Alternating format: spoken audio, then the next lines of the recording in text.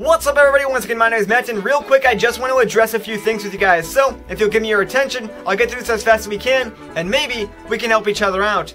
Now the first thing that I want to talk about is the new YouTube channel layout. As some of you may know, there's a new layout in the works, so you can actually get it right now if you want to, and I've been asked a few times when I'm going to switch over, and the answer to that is after Ocarina Time is done, which brings me to my first point, which is Ocarina Time is very close to being over and done with, so I'm eagerly preparing the next Let's Play and the channel switch, because I'll be switching after Ocarina of Time. Now this is where you guys come in. With this new channel layout, YouTube added one really cool feature called the unsubscribed viewer trailer. This is a video that only plays to people who aren't subscribed to my channel. Now why do I need your help? I want you guys to be in the trailer with me.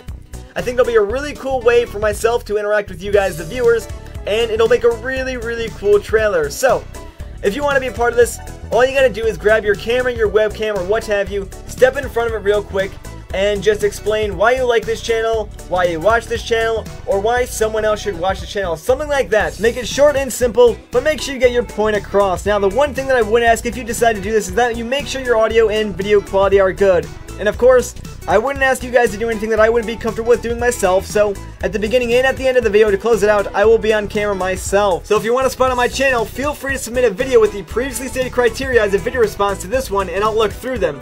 This is going to be a really cool opportunity for you and I to interact with each other, and it'll be really beneficial to the channel as well. So I appreciate the support. Now, the next thing that I want to talk about is PAX East. For those of you who don't know, PAX East is a huge gaming expo in Boston, Massachusetts that takes place on the weekend of Friday, March 22nd. Now, unfortunately, convention's already sold out, so if you don't have your tickets, well, you're kind of out of luck.